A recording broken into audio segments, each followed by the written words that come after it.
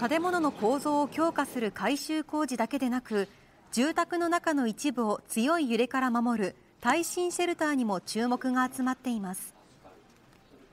来店も含めて20%ぐらいは増えてるんですけど能登地震の影響で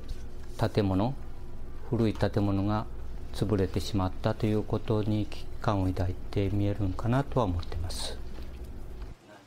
愛知県岩倉市の宮田鉄工が開発した材木と鉄などを組み合わせたシェルターです。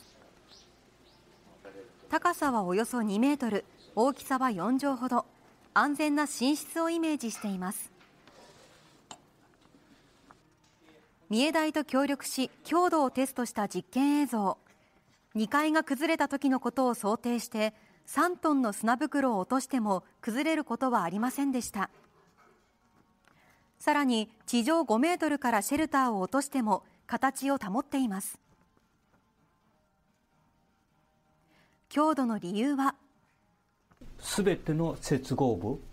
すべてにこの金物が使われて補強されてます。他の材木でも弱いんです。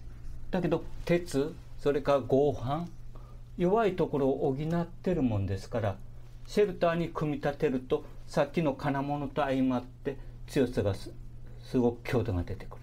る。材木がバラバラにならない限りは倒れないということです。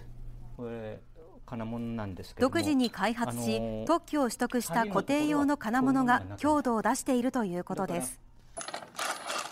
設置にかかる日数は1日。費用は設置費込みでおよそ50万円。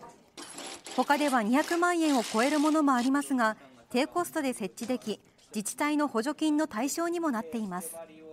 耐震補強と違ってこれ目に見えるんですよね。お孫さんとかお子さんが来て古い家にみんな集まってあの正月を祝ってたと思うんですけどもそれが一緒に崩壊してしまう。そういうのを防ぐことがシェルターの一番の強みであり役目でないかなと思ってるんですけども。